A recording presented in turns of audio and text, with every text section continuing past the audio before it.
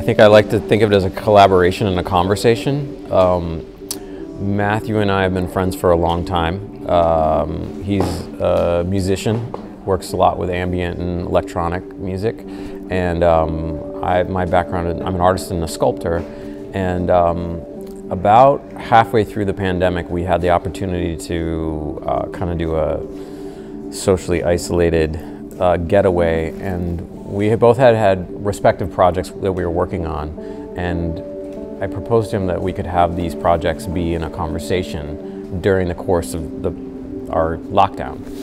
A gradual kind of sharing of ideas and realizing that the music that I was working on, the pieces that Jesse was working on, there, there was a commonality with them. Um, and uh, I think they, they naturally complemented each other. So as we got deeper into uh, my home recordings and Jesse's pieces, we started to fine tune them and um, kind of give them more direction. I was trying to realize a group of sculptures that were meant to articulate balance and space and think about mostly relationship.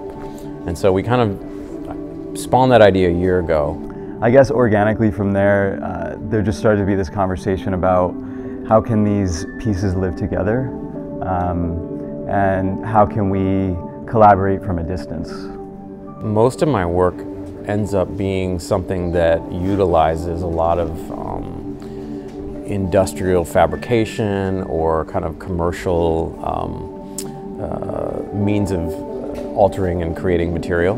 But then I think the idea of the work ends up speaking always to this um, very important kind of vital relationship we have with nature. And I think this year um, what was interesting to me was the, the kind of pandemic sort of highlighted our fragility and our sort of balance with nature, and the work was kind of trying to articulate that. I see music as medicine um, in, in, a big way, and you know, for me, uh, that's that's a major outlet that I go to to find that space, to find to kind of get lost a little bit um, and enter into a different realm. Uh, and yeah, I think, I think the deeper you go into that realm, the more spacious it gets, and I, I think interesting things come out of that solitude.